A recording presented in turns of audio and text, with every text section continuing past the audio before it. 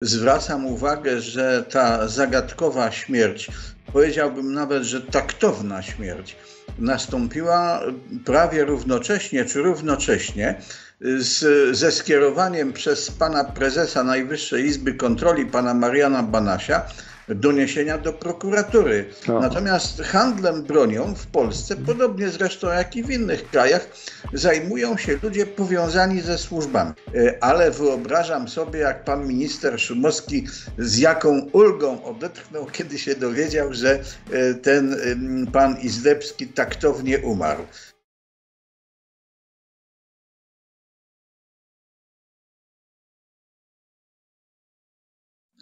Dzień dobry Państwu. Telewizja internetowa Niezależny Lublin. Witam Państwa Ryszard Hołbowicz.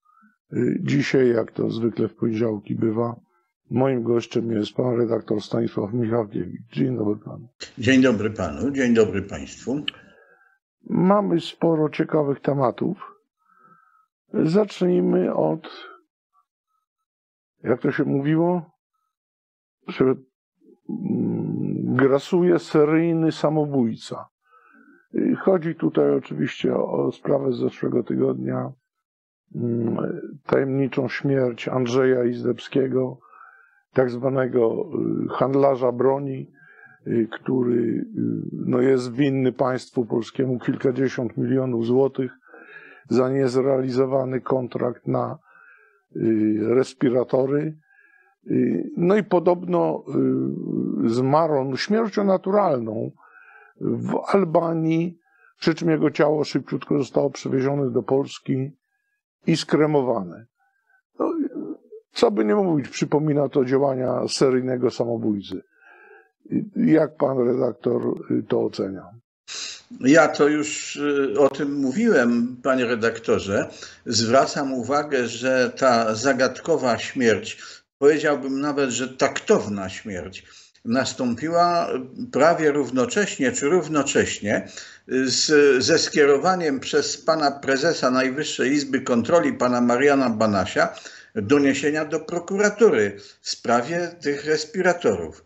Y, to jest jedna taka tutaj zagadkowa zbieżność. Druga zagadkowa zbieżność to jest taka, że y, ten pan Izdebski zajmował się handlem bronią. Otóż kto w Polsce może zajmować się handlem bronią? Podobnie jak finansami, zwłaszcza na większą skalę. Tylko... Przepraszam, wpadnę, wpadnę panu słowo. Do tego tematu jeszcze powrócimy, ale okazuje się, że na przykład y, dziennikarze mogą się zajmować y, handlem bronią, My, myślę tutaj o y, zbiórce na Bajraktara dla Ukrainy, zorganizowanej przez dziennikarza, pana Sierakowskiego. To, to, to, to nie jest handel bronią. Przecież pan Sierakowski y, nie zamierza tego drona, na którego tam zebrał, sprzedawać, tylko on zamierza go przekazać, więc to nie jest handel. No. Natomiast handlem bronią w Polsce, podobnie zresztą jak i w innych krajach, zajmują się ludzie powiązani ze służbami. Te powiązania datują się, przypuszczam, jeszcze z okresu legalnej działalności, oficjalnej działalności wojskowych służb informacyjnych, które można powiedzieć, że zmonopolizowały tę branżę. No i podobnie jak branżę finansową. I w związku z tym to, że akurat ten pan handlował bronią, no to w moim przypadku od razu wzbudza podejrzenia, że był albo funkcjonariuszem wojskowych służb informacyjnych, albo przynajmniej konfidentem. Trzecia zagadkowa sprawa to ta, że pan minister Szumowski kupił te respiratory akurat od niego. Akurat od niego. W korcu maku go znalazł z tymi respiratorami. Więc to też nasuwa rozmaite, wzruszające podejrzenia. E, ale wyobrażam sobie, jak pan minister Szumowski z jaką ulgą odetchnął, kiedy się dowiedział, że e, ten pan Izdebski taktownie umarł. Ja też bym na jego miejscu się z tego cieszył i poczuł ulgę, podobnie jak inni przyjaciele polityczni czy biznesowi tego nieboszczyka. Dlatego, że tutaj jest bardzo ciekawa analogia, panie redaktorze, z aferą Amber Gold. zwracam uwagę, że tak jak tam piszą media, podają, że ten pan wcale nie był biedny, że miał w razie czego, to miałby z czego oddać. Ale no, nie żyje, więc już nikomu nic nie powie, ani być może też nikomu nic nie odda, dlatego że dopóki żył, to miał, a jak nie żyje, to nie wiemy, czy ma jeszcze, czy nie ma. Krótko mówiąc, podobieństwo z aferą Amber Gold polega na tym, że niezależna prokuratura w sprawie Amber Gold wszczęła tak zwane energiczne kroki, nie wcześniej, jak dopiero wtedy, kiedy pieniądze, a to całkiem spore pieniądze, były 800 milionów złotych, rozwiały się w nieznanym kierunku no to wyobrażam sobie, jak, że tak powiem, no, mam nadzieję, że niezależna prokuratura działała, że tak powiem, z takiej zwykłej opieszałości, a nie z opieszałości zamierzonej, bo to by było jeszcze gorzej. No ale tu mamy za tak tyle znaków zapytania, łącznie z tym skremowaniem pośpiesznym nieboszczyka, no to nawet y, żadny, żadnych już śladów tam się nie dopatrzymy, a przede wszystkim trudno się będzie dopatrzyć, bo z zeznania bardzo trudno jest wydobyć z zagrobu. Chociaż niektórzy adwokaci zdolni to potrafią takie rzeczy robić, ale nie wszyscy. W ogóle to jest bardzo trudno wydobyć zeznania z zagrobu, więc on nie powie już ani co się tam stało, ani gdzie schował szmalec. No i to jest tutaj najważniejsze dwie wiadomości. Jak to się stało, że on sprzedawał te respiratory? No i gdzie schował szmalec? Jak nawiązał pan to do afery Amber Gold, y, to tutaj chciałem też poruszyć sprawę y, żony pana Izdebskiego. Mianowicie była ona wspólnikiem w firmie, która zawierała ten kontrakt. Mm, I co dziwne, za panem Izdebskim prokuratura rozpisała list gończy, gdy on zniknął z kraju, a y, y, podczas rozmowy z dziennikarzem pani Izebska powiedziała, że zaniepokoiła się tą sytuacją, bo od kilku dni nie miała kontaktu z mężem, który w tej Albanii przebywał. No to jak to jest? List gończy, żona się kontaktuje, a policja nie potrafi trafić na ślad? Panie redaktorze, policja wielu rzeczy nie potrafi, zwłaszcza jak otrzyma dyskretne polecenie. Wiecie, rozumiecie, e, tutaj nie potrafcie nawiązać, kontaktu, e, no to co taki policjant ma zrobić? No słucha się rozkazów, jak ma, wiecie, rozumiecie, to jest rozkaz. Tutaj jeszcze chciałbym do, dodać jedną rzecz, że analogia jest z aferą Amber Gold, ale są też różnice. W Amber Gold nie było mokrej roboty, a tutaj podejrzenia takie, że nastąpiła, chyba że rzeczywiście pan Izebski taktownie umarł i to jeszcze nie zdążył pożegnać się z żoną. To już naprawdę taktownie, to jest prawie tak. No, tutaj no, nie jest to tak taktowne jak w przypadku pana Ireneusza Sekuły który cztery razy strzelił do siebie, zanim się pożegnał z rodziną. Ale pan e, Ireneusz Sekuła no też taki może uchodzić za jamochłona finansowego, e, ale no też miał powiązania ze służbami, chociaż od pewnego czasu już stracił dobry fart. A przedtem to miał znakomity fart.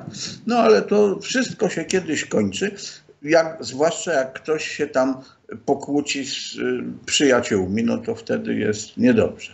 To wtedy może nawet taktownie umrzeć. Tak jak się y, panu Izdebskiemu zdarzyło. Dobrze, przejdźmy do polityki. Dzieje się sporo na, że tak powiem, rynku politycznym. Mm, uaktywnił się bardzo y, prezes Prawa i Sprawiedliwości, pan Jarosław Kaczyński.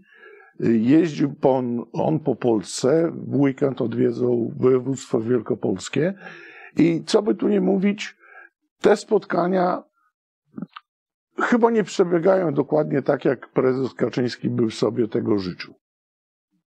Bardzo możliwe, że właśnie tak przebiegają, bo prezes Kaczyński, przypuszczam, gdyby sobie tego nie życzył, to by one przebiegały inaczej.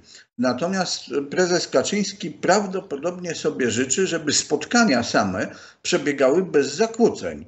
W związku z tym one tak przebiegają. Prezes Kaczyński mówi, co tam ma do powiedzenia. Słuchacze reagują bardzo pozytywnie, y, radują się i tak dalej. Już potem są oświeceni, już wszystko wiedzą, nie tylko jak jest, ale jak ma być. Y, no, a ci, którzy nie zostali wpuszczeni na to spotkanie, to tam się awanturują i nawołują, żeby jebać PiS i tak dalej. No, widać wyraźnie, że Donald Tusk mobilizuje swoją Volksdeutsche Partei e, zgodnie ze strategią ulica i zagranica. No to zagranica już działa, a teraz ulica się włącza. E, myślę, że e, ta aktywność naczelnika państwa Jarosława Kaczyńskiego ma za przyczynę to, że no on coś tam musi wiedzieć, czego my jeszcze nie wiemy.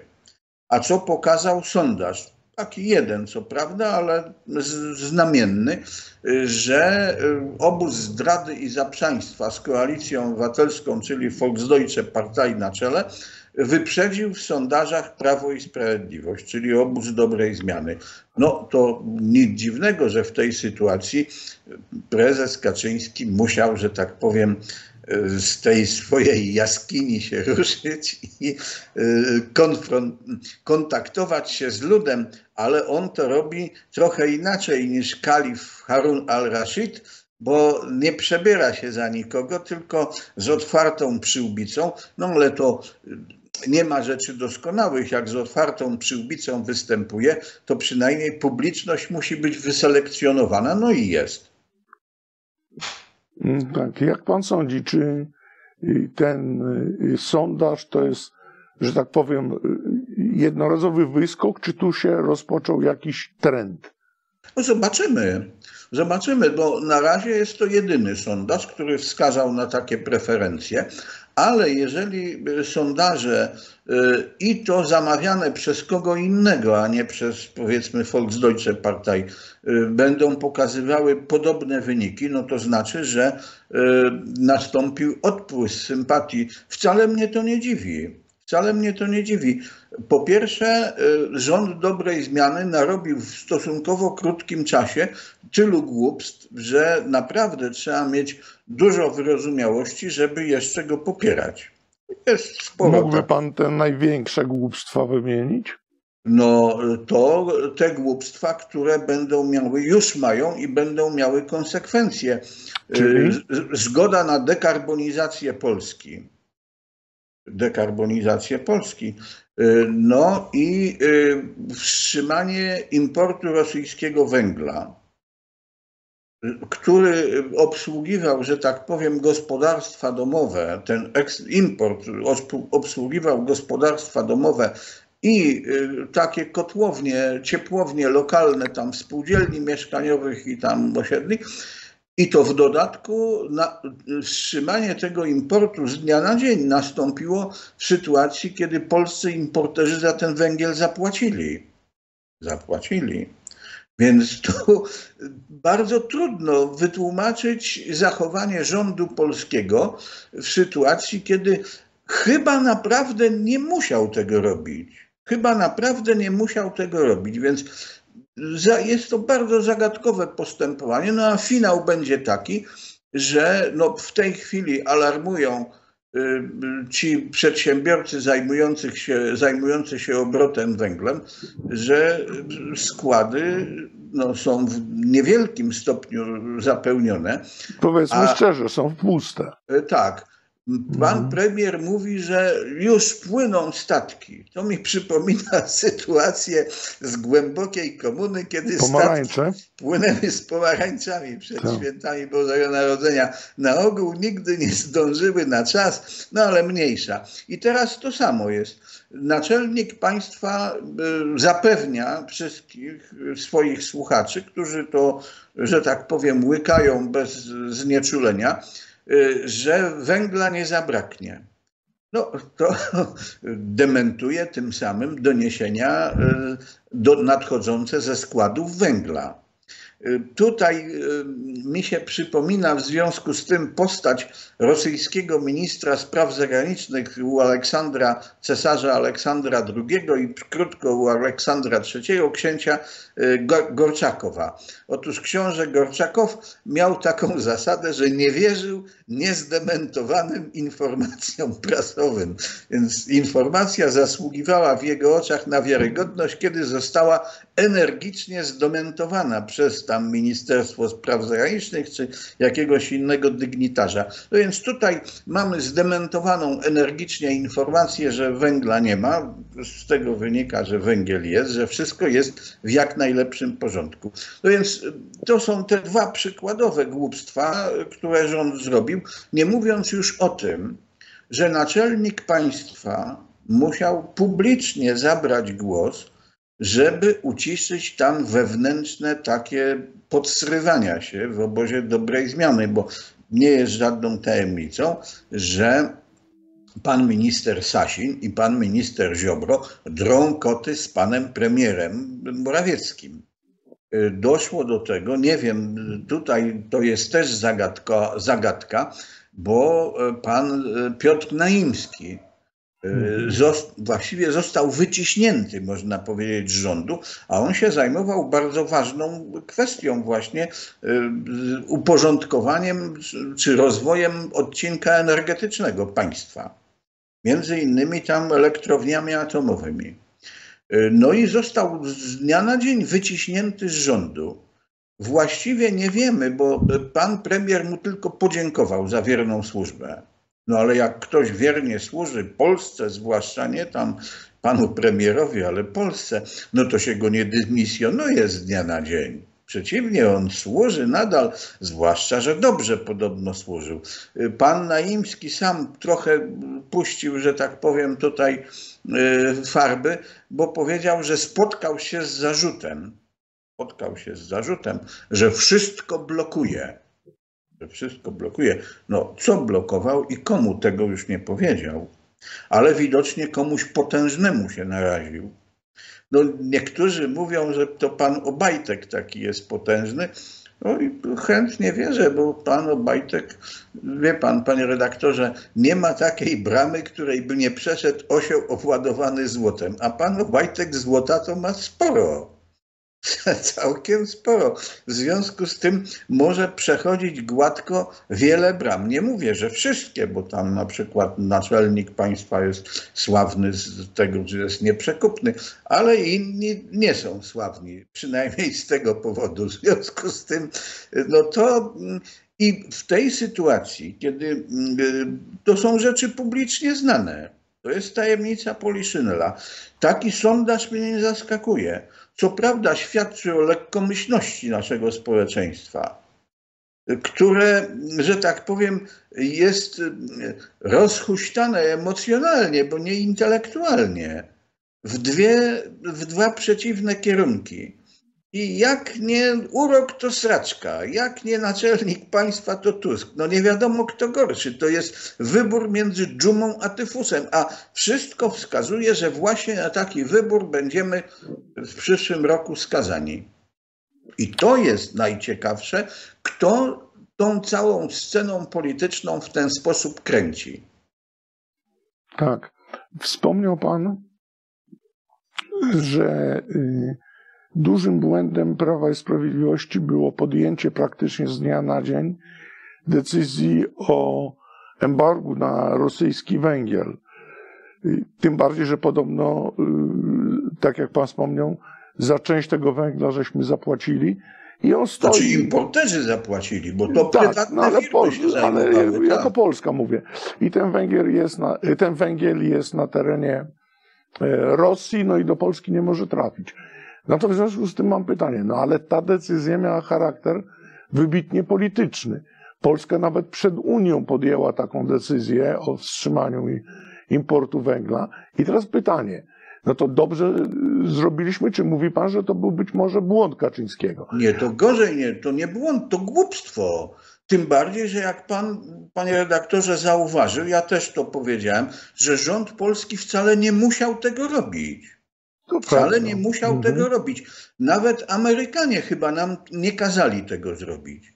Więc to zrobił albo dureń, albo agent. Hmm, ciekawe. Ciekawa. No nie wiadomo, co gorsze, pan, bo z agentem to można się jakoś dogadać, a z durniem to niepodobne. No czyli co, kolejne, kolejne, że tak powiem, plusy, jak już się mówi tradycyjnie po Wałęsie, plusy dodatnie dla prezydenta Orbana, który prowadzi naprawdę niezależną politykę? Panie redaktorze, oczywiście.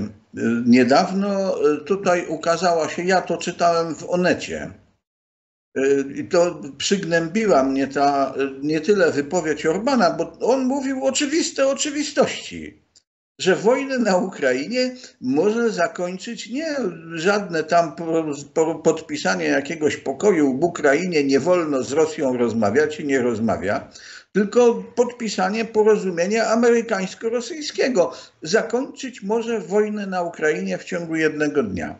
Pytanie tylko na jakiej zasadzie. I Orban to mówi. I Orban to mówi. I wie pan, pod jakim tytułem się w Onecie ukazała ta wypowiedź Orbana? Zaskakujące słowa Orbana. No to, wie pan, to jest ilustracja tego, jak spsiało dziennikarstwo w Polsce że oczywiste oczywistości, bo Orban tam mówił same oczywiste rzeczy.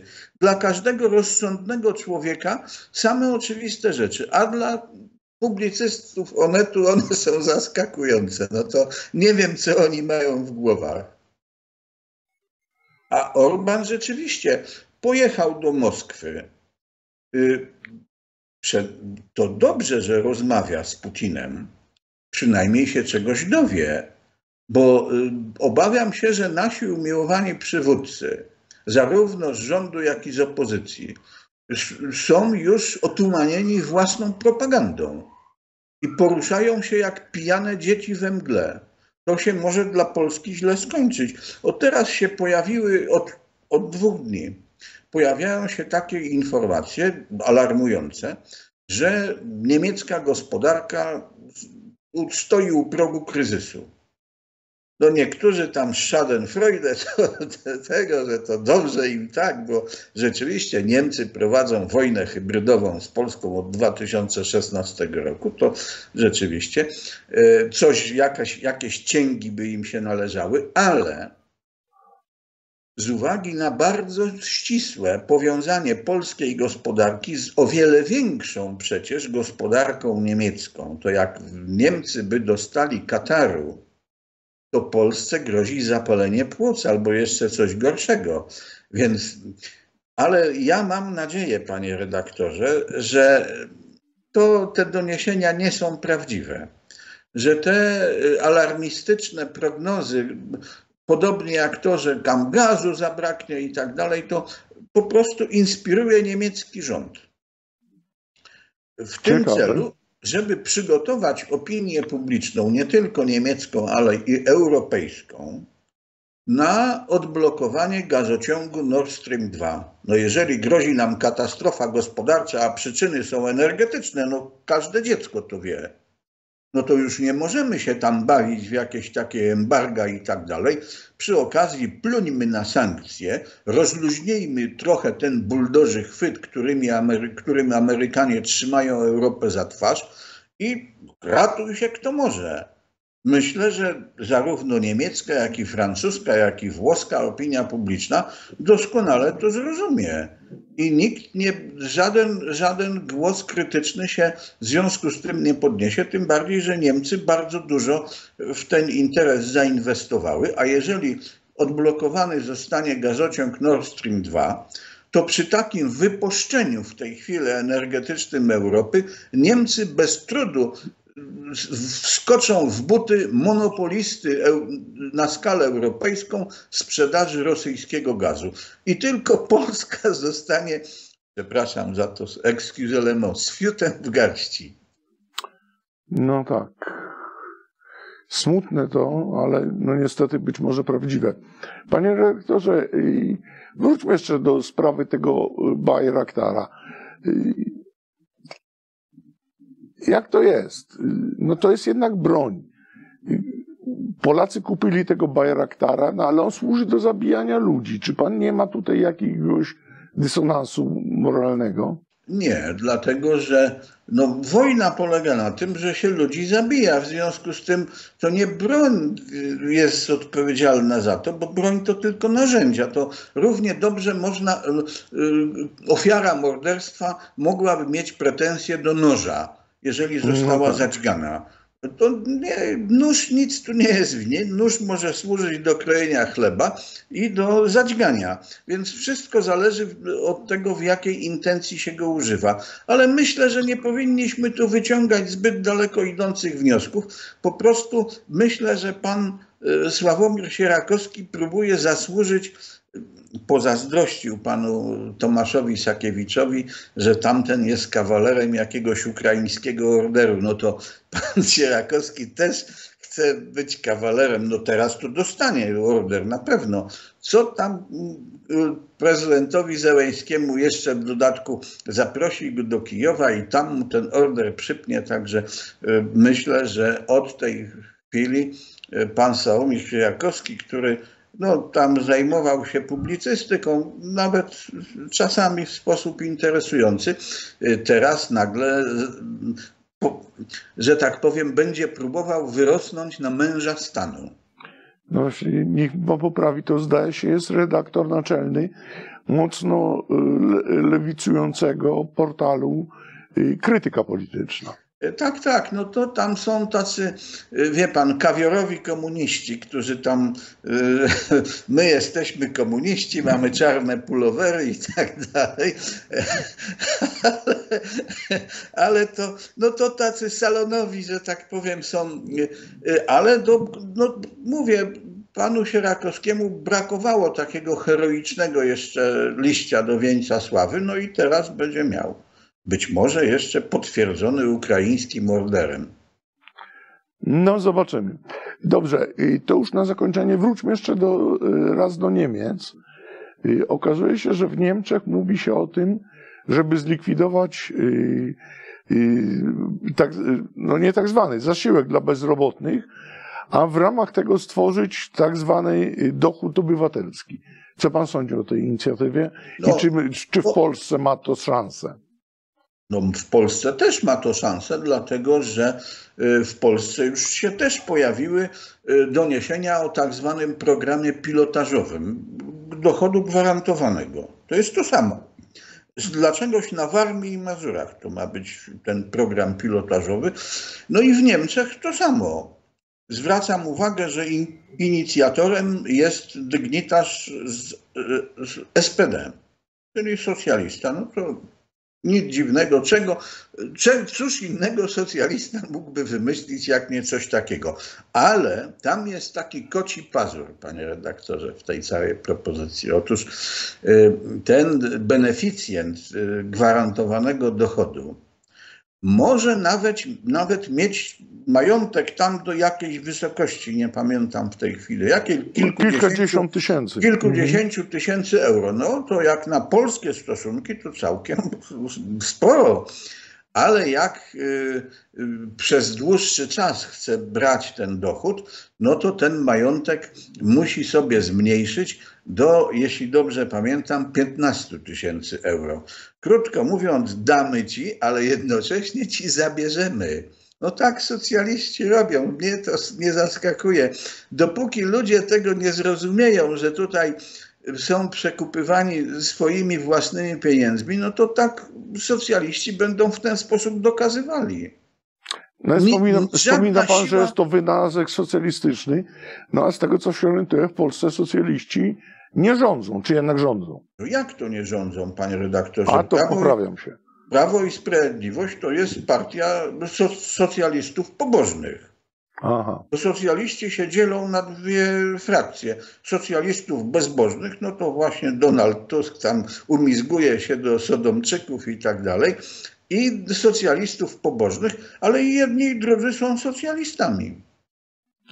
Okay, no jeżeli no... Donald Tusk występuje z pomysłem czterodniowego tygodnia pracy, tak, no to, to pasuje. Takie rzeczy może mówić tylko socjalista i to, że tak powiem, działający w jakimś amoku.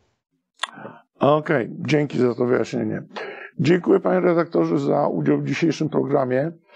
Y, Do państwa mam y, dwa komunikaty, dwie- informacje.